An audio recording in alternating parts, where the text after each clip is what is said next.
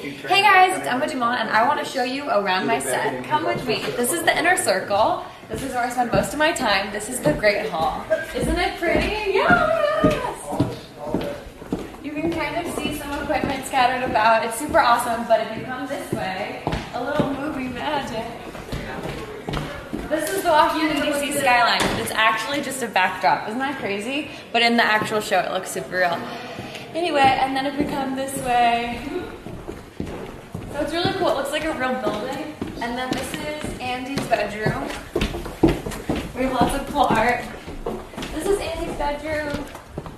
He has lots of awesome stuff here and video games and skateboards. All of it's fake though. You can't really use it. Okay, love you guys. Bye! 抖音记录美好生活。